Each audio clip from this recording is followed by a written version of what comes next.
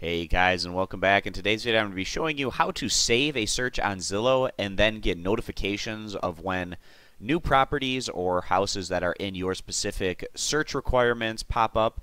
Uh, you'll get notifications in the form of an email. So uh, I made a video about how to make a filter of a particular search. So if you're interested in learning more about how to filter uh, whatever search that you're making for a particular home or property, you can go check out that video. But this is after I've done all of the uh, filtering and search options, and now I want to save this search so that if new properties or changes happen in this particular search, I'll get notifications. So you can see there's this little save search option over here.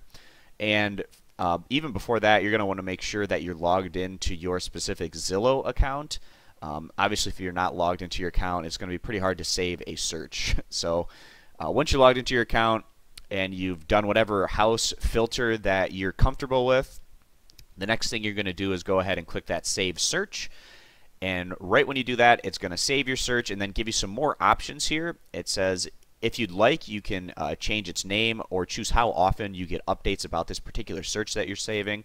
Uh, I'll just nickname this one Las Vegas because that's the area that I'm searching in, so it'll be easy to remember. And you can either get instant emails when there's changes um, to this particular search in terms of maybe houses changing prices um, or new listings coming on board. You can also decide to just get a daily email where you're not going to get bombarded with all these instant emails it's going to just give you more of a summary type email uh, once per day.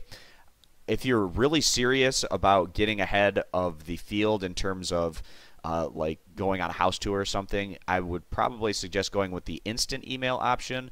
But if you're more, uh, I'd say not extremely antsy to you know get in on these new listings that potentially come up, then maybe the daily email is more your cup of tea. Maybe you're just wanting just some general information, more scoping out the market than wanting to get bombarded by instant emails all the time. So you can also do that daily email option. So then you're going to go ahead and just click update search after that.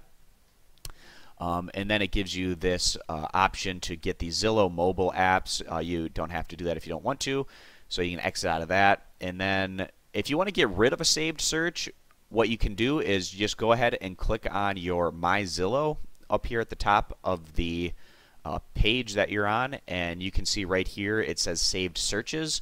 So you go ahead and click on that and here's that one saved search that I just made.